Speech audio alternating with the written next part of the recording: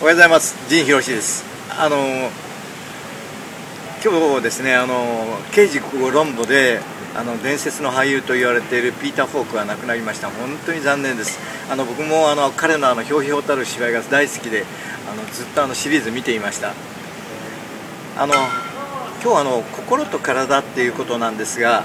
俳優とダンサーっていうことであの大雑把に言うとあの2つの考え方があります。俳優は心のプロフェッショナル。それを分析し役を分析してどうやって表現するかって。そしてあのダンサーは体のプロフェッショナル。その両方からのあの、えー、コンタクトであの総合的なあの毎日の生活を楽しい状態に持っていけるあのと思っています。そのわけで心と体を一つにするということでジェイザスはそのようなことも考えています。またそのように提案しています。あのぜひあのえあのダンサーであり俳優である僕の経験上ではあの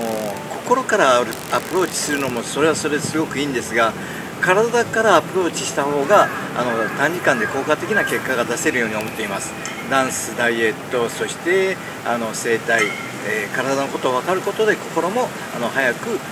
いい意味で癒すことができるというふうに思っています。体元気ということで日曜日毎週5時から6時まで新宿 J28 スタジオで陣博がレッスンを受け持っています。他にもとてもいい先生たくさんいますのでぜひあの J ダス日本ダンスセルフ生態協会であの検索してみてください、えー、日曜日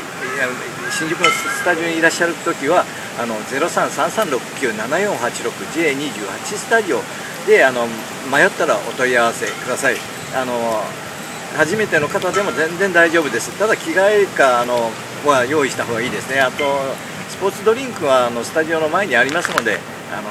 体一つそして着替えあの気楽に来てください。あの年配の方も若者もどなたも歓迎しています。陣博 J28 スタジオで5時から6時までお待ちします。